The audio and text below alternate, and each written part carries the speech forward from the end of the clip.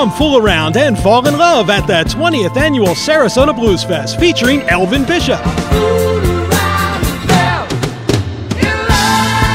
Also featuring Trombone Shorty with Orleans Avenue,